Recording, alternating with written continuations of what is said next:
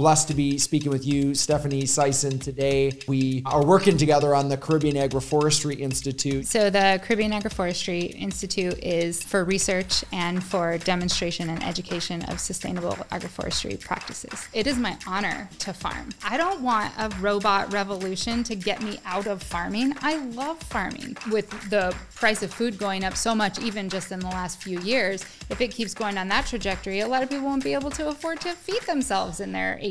So let's plant a whole lot of food.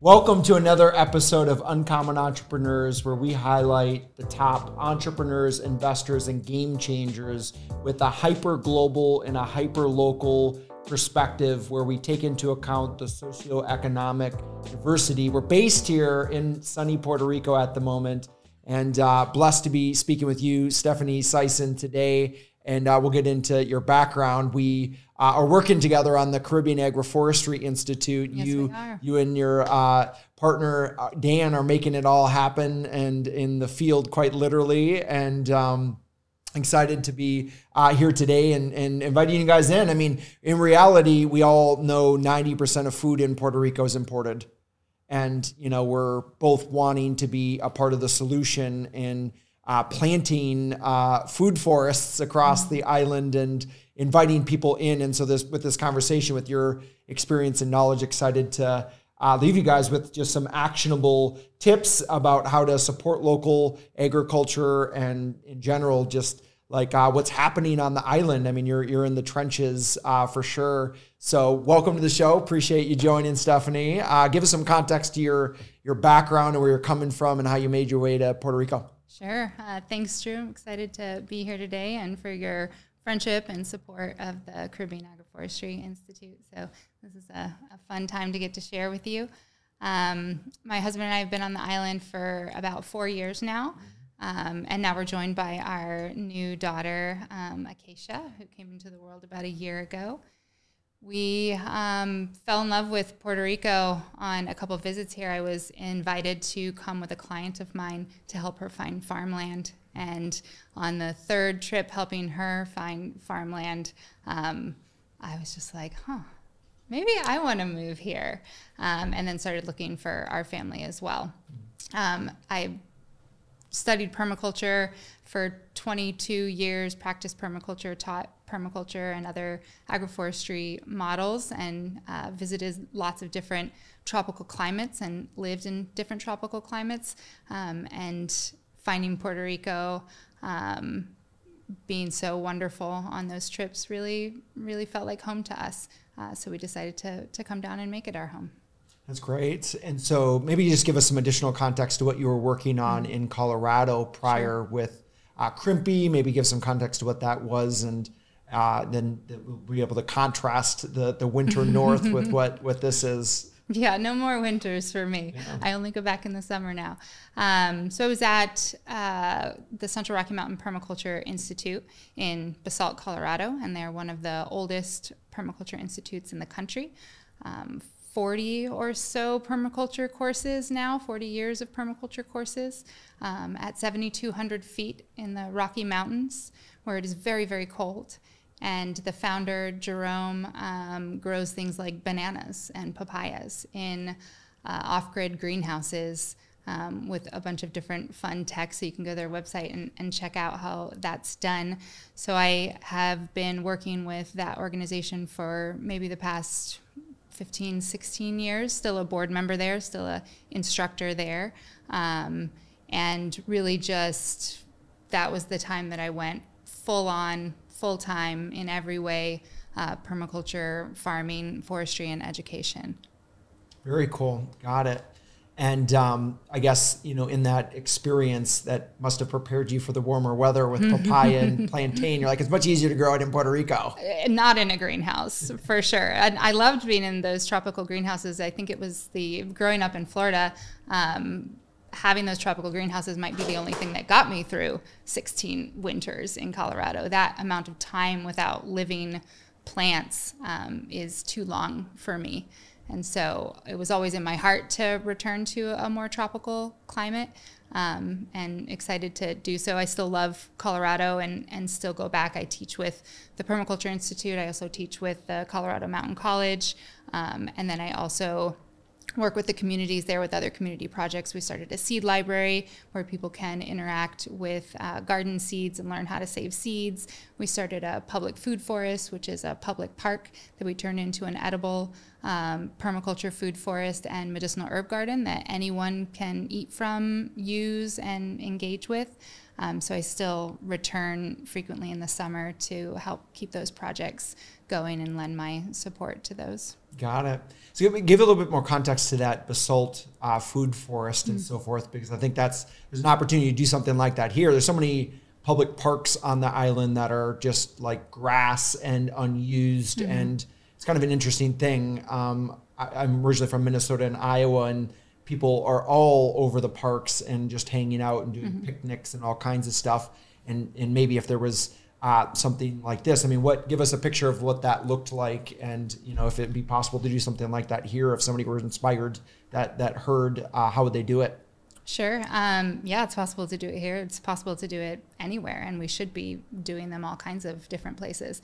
One of the things um, I, I teach at all all ages, and so for our kids classes, one of the things we use the park, the edible park for, is this lesson in public spaces are just that public spaces, and we've come to think of them as government controlled spaces, but they're really people controlled spaces. If there's an idea that we have that the community wants for a public space we should be able to talk to our government and try to get that moving forward if enough people support it. So an edible park is what we did there. It's a half an acre. Um, still has big, wide, grassy pathways and gathering areas and picnic benches and things like that. So you can still gather and use it as a park, but all of the landscaping um, is highlighted and it's all edible and it's all uh, tagged with Latin and common name and uh, directions of how to interact with the park and what the plants are and how to use them and how to eat them. Um, really interesting. A lot of people are very far from their food, and we have raspberries there, and they're like dripping over the sidewalk, like begging to be eaten. Just beautiful, beautiful fat raspberries. And I can't tell you how many times people asked me, um, Are the raspberries poisonous? I said, no, like, why would I plant poisonous berries in an edible food park? There's signs everywhere. And they're like, so they're like the store ones? Like, yeah, but better. And so there's a writer there that recommended that I take that plastic clamshell that the raspberries are sold in at the store and clamp it on the plant. And so I did that. And so then people, some people got it. They're like, oh, it's just like that raspberry. Okay, I can eat it. And so it's it, it's an interesting space to interact with food and people and help people understand who are farther from their food systems the the connection to it all. Yeah, that makes a lot of sense because uh, you know I grew up in a city my whole life, and essentially um, even upon living in Puerto Rico now for five and a half years, you know, mainly in San Juan, the, the metro area, it you're you feel so disconnected from your food, hmm. and and you don't really realize that like how it's produced. It just in your and and so when I'm hearing you say it, it was probably just almost mind bending for people to be able to kind of like associate like how you know it got from you know this you know in general to to the you know their plate. Yeah, how it gets to their refrigerator. Yeah, yeah, that's awesome. So let's maybe you know hit a little bit more on the Caribbean Agroforestry Institute and what you and Dan and we are building with it, and give people some context to like uh, maybe classes you've hosted, what you're planning on doing, and um, you know who who it's meant to serve and sure. and all that. Sure. Um, so the Caribbean Agroforestry Institute is um, for research and for demonstration and education of sustainable agroforestry practices.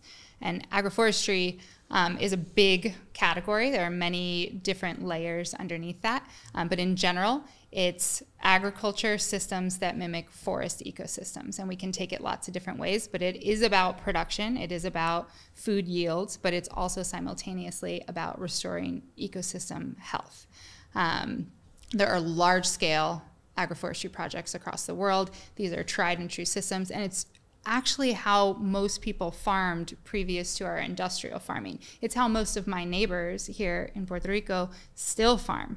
Most of my neighbors they don't have huge monocrops of different things. They have lots of different things. They're family farms. They're feeding themselves, they're feeding their neighbors.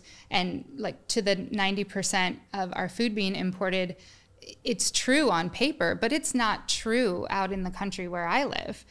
All my neighbors produce so much food, but they don't sell it and they don't buy it. So I don't think those numbers are counted. And these agroforestry models and methods are still in practice and alive, but they're they're dwindling. Almost all of my neighbors are in their 70s or 80s, and their children are not interested in farming, and their grandchildren are certainly not interested in farming, and they want to come to the city and they want to have fancy cars and fancy houses, and they see agriculture as this thing that's hard or dirty or it doesn't make enough money or or whatever the the reasons are that they've been turned off from it is something I want to help participate with lots of other people who are doing this work to like you say make it sexy again like it is my honor to farm it is my pleasure to farm. I don't want a robot revolution to get me out of farming. I love farming. The the feel of being on the soil, in the soil, hands in the dirt, watching a new flower bloom for the first time and I've never seen it in person, eating a fruit for the first time that I've been waiting for six years and nourishing this plant to get the chance to taste and then share that with someone else. What a gift and honor it is to be in that position. And I think that the earth will share that with lots of people. I think it's in us all. Like we no matter where we came from, our ancestors were farmers. Our ancestors knew about earth's cycles and they knew how to interact with plants and take care of themselves and feed themselves. It's in here somewhere. And if people just spend enough time in it, they remember. But it's not these like industrial agriculture farms. It's not these oh, thousands of monocropped acres, not a weed in sight, all corn as far as the eye can see, toxic with herbicide, huge noisy tractors, devoid of birds and life and shade and all those things. That doesn't feel good. I would want to get away from that as well. But agroforestry is different. Agroforestry is the magic of a rainforest here in Puerto Rico, except that it's dripping with fruit and medicine. It's organized yet still has a wild element. It's shady, it's diverse, it's beautiful, it's full of life. And if people get the chance to be immersed in that, I feel that that's the earth will convince them. I don't need to convince them. I just have to help get them there to stand there for a minute and be quiet and turn off their cell phone. And nature will do the rest. Yeah, that's that. Um, I'm, I, my my stomach is rumbling as you're saying this. I'm I'm wanting to try some of this uh, delicious fruit on a tree. But what um, I'm also recognizing is you know how often do we have access to that type of food, and so um, you know how would you kind of define clean food? What what kind of how like is in this industrial era of wanting to mass produce in order to make sure that we feed the world, we're kind of missing out because we have to put artificial inputs like glyphosate and other things on. Maybe give some context to kind of like, you know, differences you've seen through, you know, and what and what benefit this has. Sure. Um, so a lot of our modern agriculture is highly chemical. Um, that in in the nature of itself is toxic to us. It's things that are toxic to plants and animals are also toxic to humans. Um, so there's just the inherent danger of eating those kinds of food. Um, in addition, you know, there's been a lot of press lately about how nut- nutritionally devoid our food is. And that's because we don't have living soils. The nutrition is in the plant and is in the soil, and it's about the relationship between the plant and the soil microbiome and the bacteria and the fungi releasing those nutrients, allowing them to go into the plant. And you don't get that in industrial agriculture. You don't. You don't. Why is that? Because they use chemical fertilizers. They kill the soil by over tillage. They kill the soil with chemicals, and then they feed it what they think the plant needs to survive. And technically, you get corn, you get tomatoes they look like a tomato. They kind of taste like a tomato until you've actually had a tomato, and then you're like, this is not a tomato. And, but nutritionally, they're they're different. They're not making those interactions, and we can only understand so much about soil nutrition and what we can pour in a bottle. Nature is much more complex than that. Um, so we choose to move a different way. And most of our history of agriculture was a different way. The chemical industry has only been a part of this for a very short amount of time.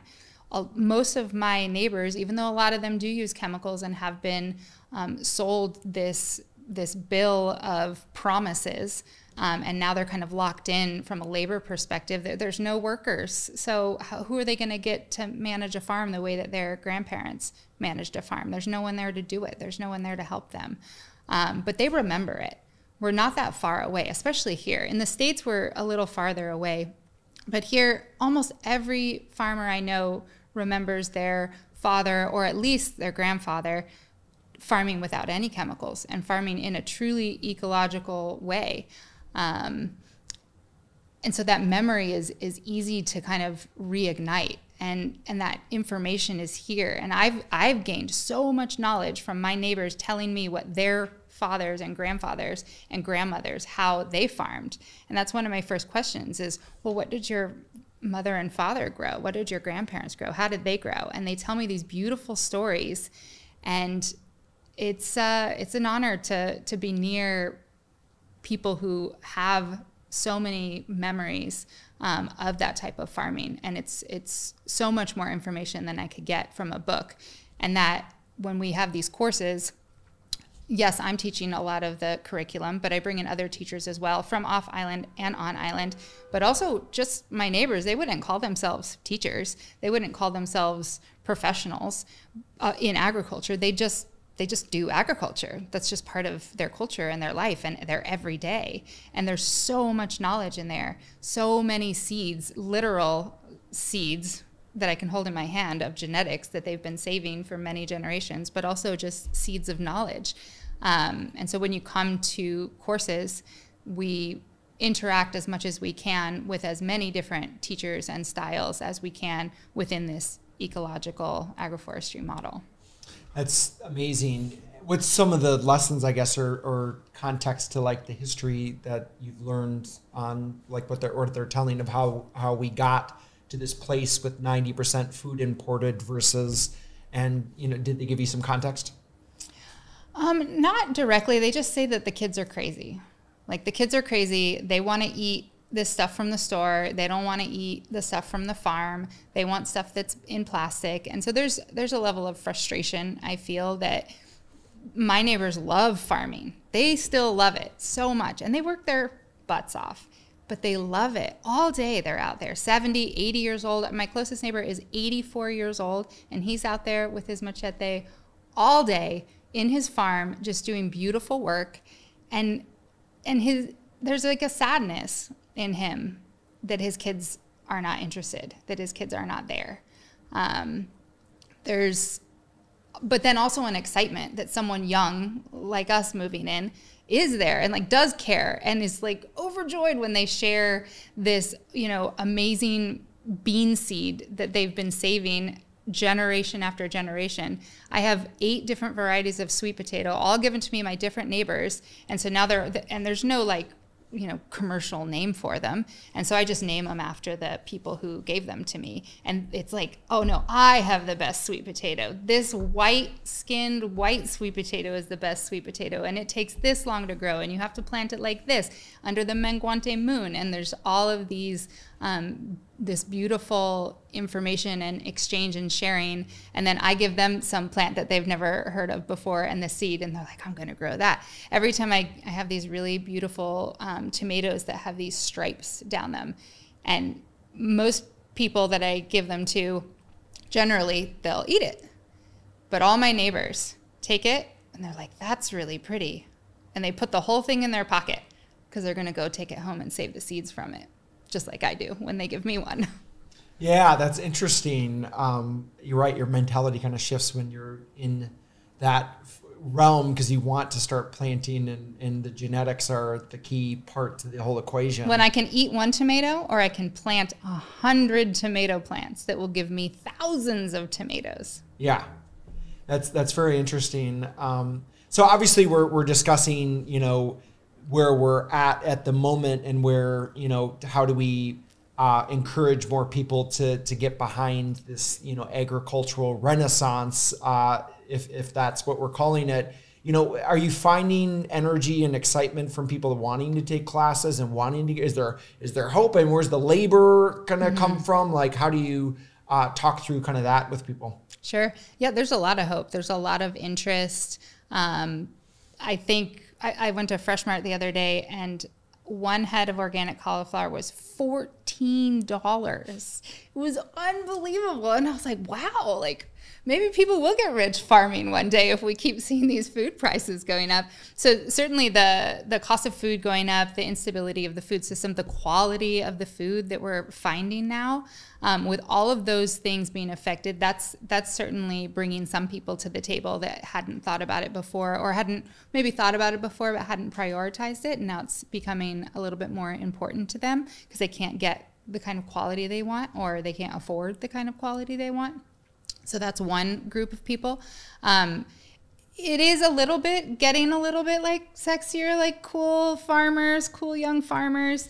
Um, and as that as that kind of PR story changes, that it's not like some uneducated hillbilly that farms that just wants to work hard and you know make no money. As that the the like story of that changes publicly, then we're going to see a lot more people, um, you know, opening up to the possibility. And then once they they really, it is hard work. There's no there's no like shying away from that. It's hard work, but I don't have to pay to go to CrossFit, so really works out in my favor.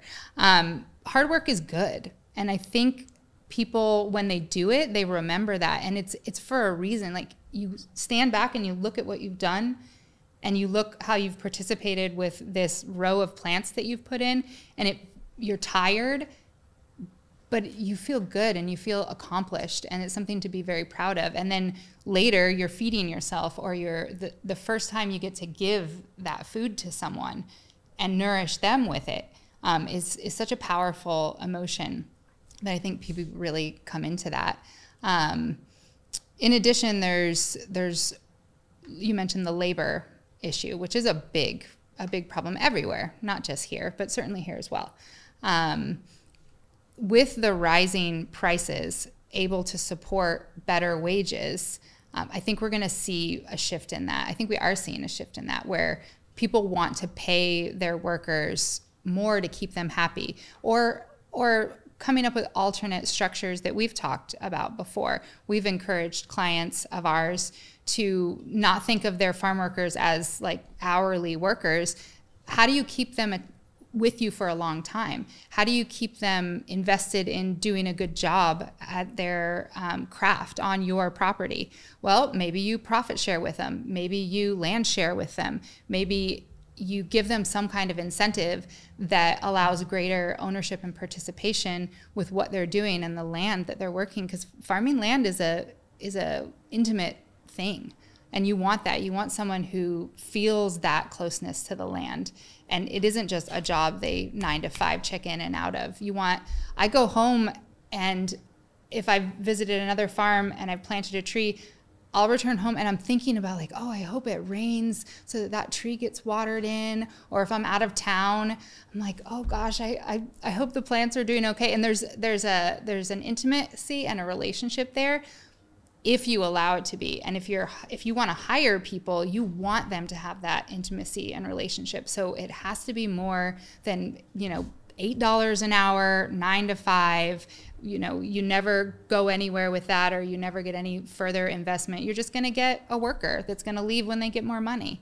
Um, you we need to come up with strategies that are more collaborative in our workers uh, like employee employee re, employer relationships yeah, I think that's that's uh, of course we we have conversations about this. I'm glad we're able to do it on camera and mm-hmm. and you guys are able to listen in to like what some of the theory, but yeah, because how do you essentially create economic incentives to get people excited and energized and so forth?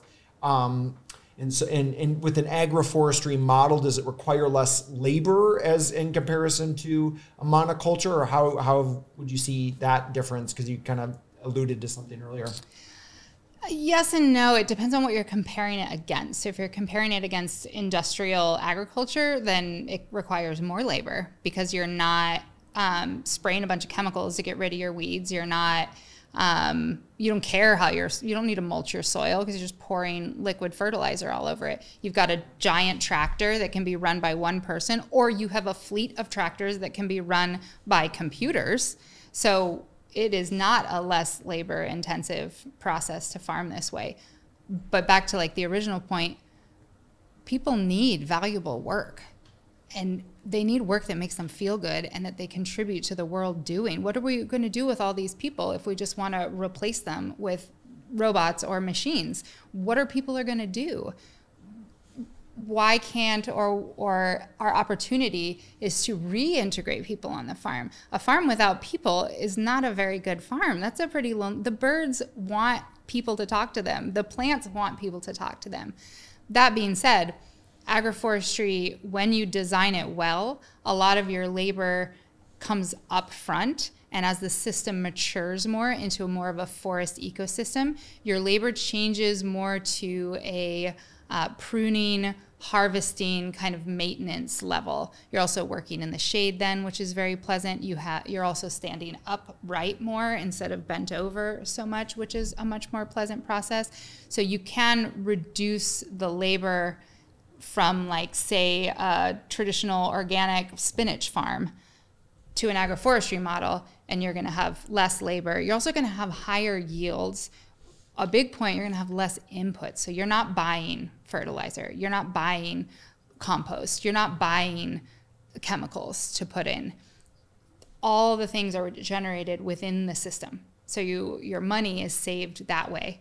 Um, and in addition, the system starts compounding on itself. So you do grow a lot of annuals in the beginning as you have all the light, but as it moves to forest, you have trees nuts and they'll come in year after year after year, greater yields as you go down the road.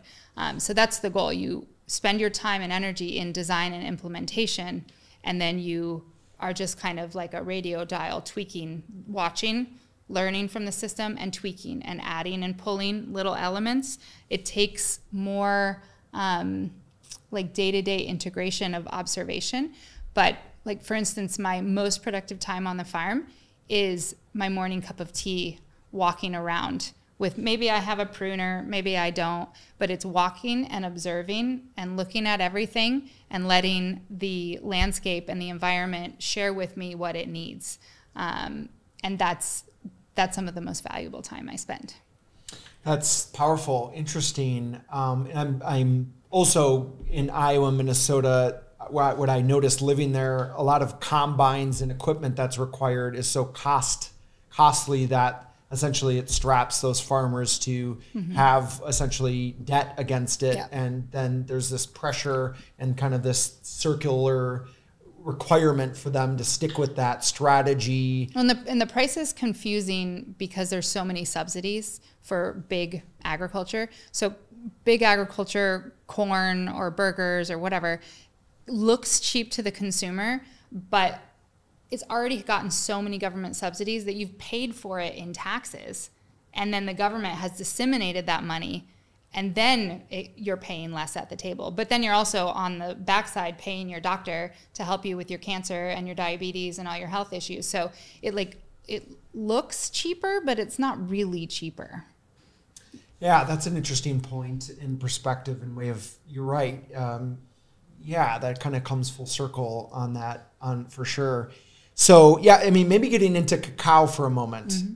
So uh, cacao chocolate uh, is the world would know it a product that everybody for the most part like coffee consumes um, grows really well in Puerto Rico. Mm-hmm. And so we've been working together on a project for some time to essentially use that as a cash crop to essentially interplant still in a regenerative way and an agroforestry way mm-hmm. and you know maybe speak to uh, you know, what makes cacao a good fit for that, and then we can get into kind of maybe some context of what we're working on. Sure. Well, cacao and coffee as well um, are really shade crops. They're understory trees. They're meant to live in a complex ecosystem with trees above them. Um, so they're healthier, they have less disease issues, they have less water requirements, less fertilizer requirements when they're in, and this is true for any plant. So the way to figure out how to make it healthier is figure out what it evolved to be in, what type of environment is it adapted to, and then try your best to recreate that environment. So cacao gives us this opportunity to have a super high value crop as the cash crop that can cash flow the rest of the system. So if someone wants a food producing system because they want to feed their neighbors, they want to feed themselves, they want to, you know, sell fruit too if they want, that can be secondary because the cacao is the thing that pays the bills mm-hmm. so that then all that other stuff can be maintained and worked and cared for um, and you get all the food from that system so that's that's what's really exciting about um, cacao being integrated in these larger ways because cacao as a monocrop doesn't really work that well. Um, we see a lot of disease and a lot of issues in places that do it, and a lot of short living cacao trees. While cacao can live 50 plus years, but in some of these monocropped other systems, they're not as long living because they succumb to disease, and the cacao isn't as good. So, shade grown cacao and coffee has kind of gotten a little bit more uh, press lately, and real experts and flavor seekers know the difference. Um, so, so it's a it's a great fit for an ecological agroforestry system.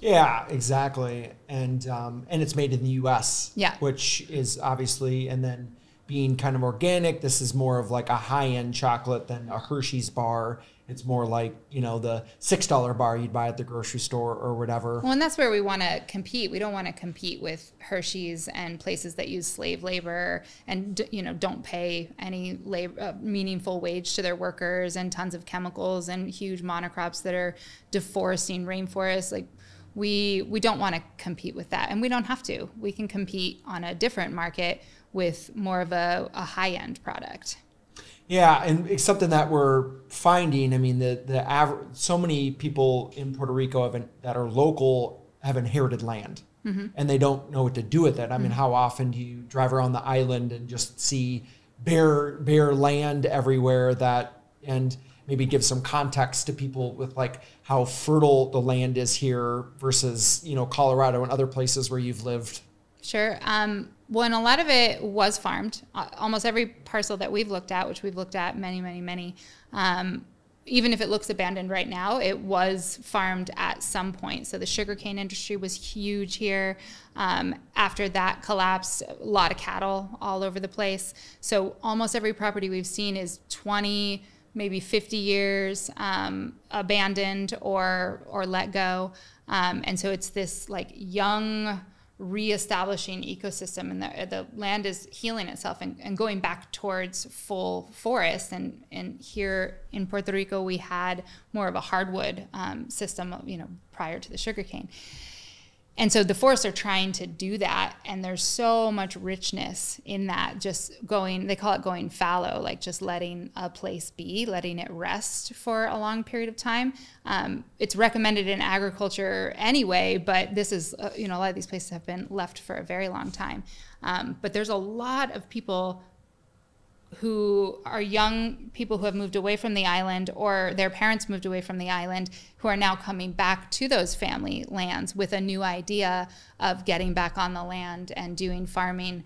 Um, one of our students from our permaculture design course that we held two years ago, him and his wife are moving to the island actually in a month or so. Um, and his whole lineage is from Puerto Rico and he grew up in the States, though, and came for that course and met some of his family members that he had never met before um, and just fell in love with this place. And so now he's returning um, and working with some of his family to bring agriculture back like his you know grandfather did on those properties yeah that's great i mean that's the kind of testimony i mean when they're increased momentum. People want to move back when they see opportunity, mm-hmm. and it's really if they can make a living and it's uh, in just the phase of the world we're in. I think a lot of people listening are going to be able to relate with the idea that you know there's wealth is greater than the, the dollars in your bank account or in your your retirement account mm-hmm. if you look at it from a lens of like you you own land that's producing clean food and it's producing revenue from agriculture which is you know offsetting you know and and you know having a surplus mm-hmm. that you're able to add to the economy. Plus you have something for your own which could be used to, to barter or in a traditional sense sell on the markets and so forth. Well and people always have to eat. That's a producing food is is never you're never going to that industry is never going to go away. Like people need to eat food always. And so it's a safe bet that if you have good delicious food that you have something that you can like you said trade sell consume yourself, you have to eat also. Um, so I do consider planting fruit trees part of my retirement plan. I want to be sitting under my macadamia nuts when I'm 80, enjoying the literal fruits of my labors. Um, with the price of food going up so much, even just in the last few years, if it keeps going on that trajectory, a lot of people won't be able to afford to feed themselves in their 80s. So let's plant a whole lot of food.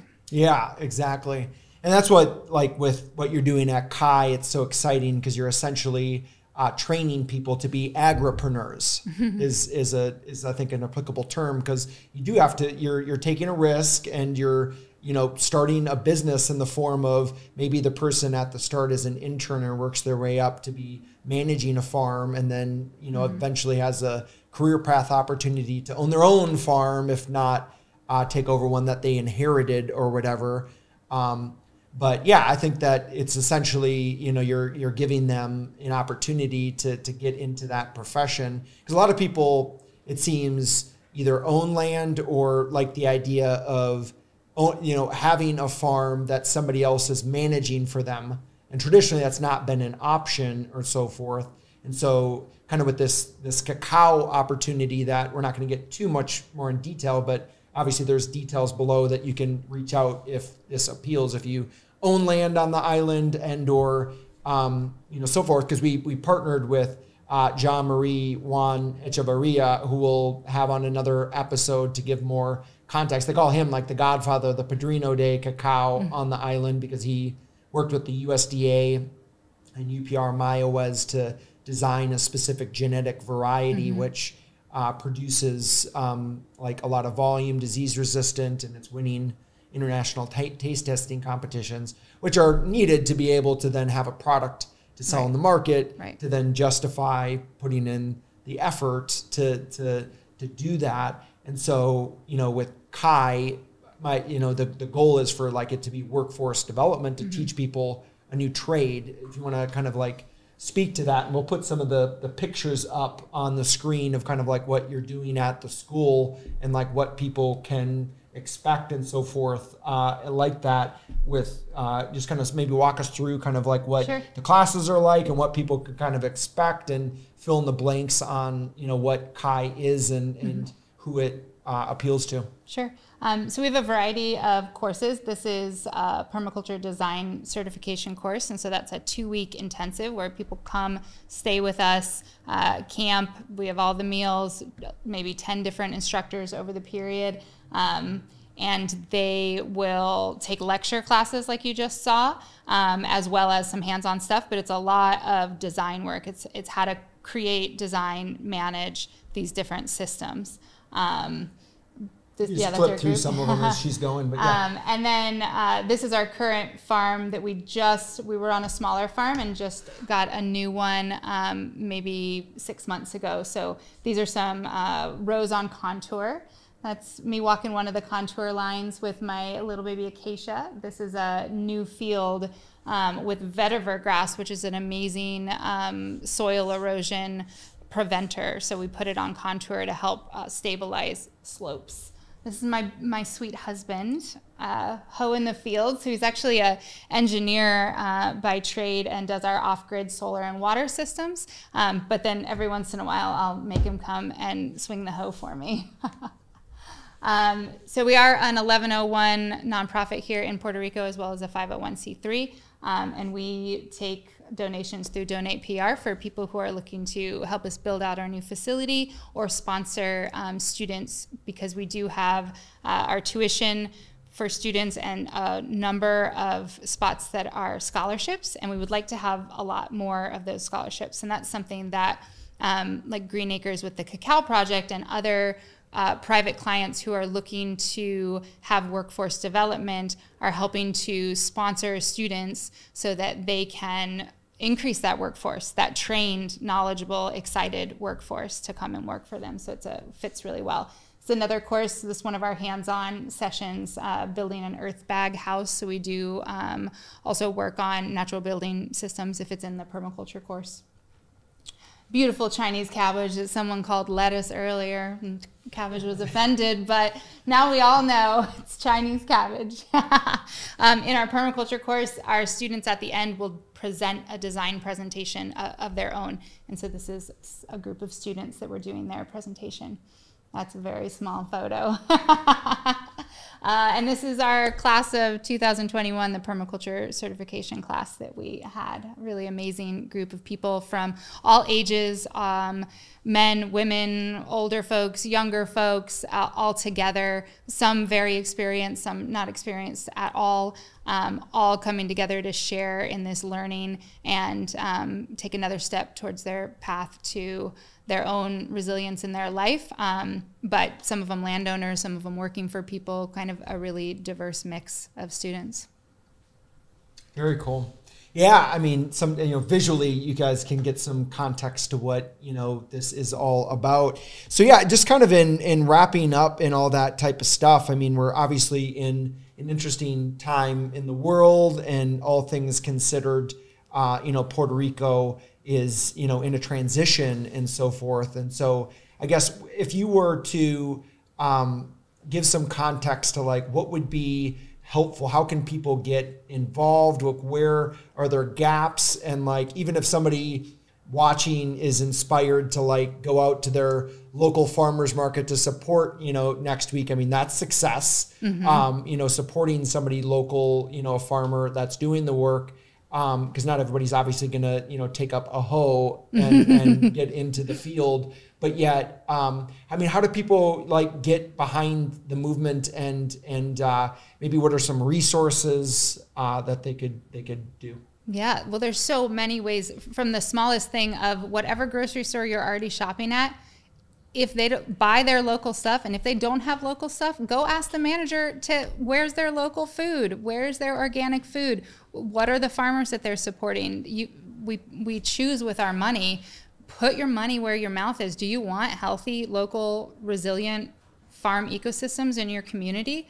Then go find them or request that the people who are providing the food to you interact with them. They'll do it. They'll do it if they think that the people will buy it. I guarantee Walmart grocery stores or any other grocery store near you will do it. Um, that's the easiest thing that you could do tonight. Go to your grocery store and ask for local food and demand it.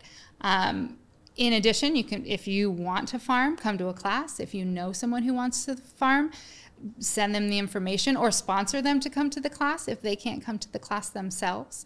Um, people get, can get involved with us by signing up with our newsletter, which is on our website, so people can join um, there and see what we're up to. Um, yeah, give us a call, give us an email. Um, you guys do consultations too. We do. We also have a private business where we help people um, either assess farmland that they are thinking about buying um, if they have an agricultural goal in mind or they just want to know what would be possible on that site, um, or current landowners that are looking to develop ecosystems, edible ecosystems of whatever size, everything from urban to um, you know many dozens of acres. Um, whether it's for business or for family use, we can we can help people. And if we can't directly help them, we can probably link them up with someone who will. Um, we just are really, really passionate about connecting people with their food and with the land and restoring our land to be the highest quality it can be, and thus the food the highest quality it can be, and thus the people the highest quality we can be. Yeah, I think you're right. A healthy person has a healthy mind and is able to absorb and to be present and to not be lethargic by eating the wrong type of food and be more active as a result. Um, and yeah, I think it's it's overlooked a lot of times, even though it says organic on the label, but it was shipped essentially. I mean, the the vitamin content, and mm-hmm. if you because you used to have like an herbal business, and the, the vitamin content, would you kind of uh, agree that like it goes down over? Oh yeah, from the second it gets picked, it starts it starts going down. So weeks and weeks wrapped in plastic on some boat or plane somewhere. Um, it's it's less than it was, and and we need those local farmers, and we need to support them right now. Um, they're not going to be able to survive if we keep giving all of our money to big agriculture. We need to I guarantee most people drive around your neighborhood long enough, you'll find someone having a little urban farm business or some kind of farm business or raising some animals or, or whatever you're looking for. Um, really just finding those people and, and asking if you can help them, help support them. Come out and volunteer on their farm. Come out and volunteer on my farm. yeah, exactly. Um, well, it's been a fun interview. I mean, at the end of the day, um, obviously, you know, like we're really doing this to like you have ex- quite a bit of experience doing podcasts obviously as well on top of like if this theme is interesting. People please like comment subscribe like and so forth and give us additional context of other people doing good work on the island so that we can interview them at a later point and almost we're planning to do like sub episodes that are focused on regenerative agriculture agroforestry all the things because there's so much we could get into that we don't have time at, at the yeah. moment. And there are there's amazing work being done on this island, and I only know of part of it, um, but even just that small part to highlight some of those people and and really explore who they are and why they do what they do, I think is a powerful story to tell. Yeah, exactly. So if this if this is interesting you, like you know, let us know so that we can just you know make more content on this theme and all that type of stuff. Uh, so we'll like how do people find you? We'll put some links below. What again is uh, the way to find you guys? Sure, uh, CaribbeanAgroforestry.org. Simple as it comes. Mm-hmm. So great to connect. Uh, buy local. Call to action. And uh, but we're uh, grateful that you came in, drove all the way uh, from the other side of the island for this, mm-hmm. and uh, more great things to come. Thanks, Drew. Signing off. Thanks, thanks for having me. Yes.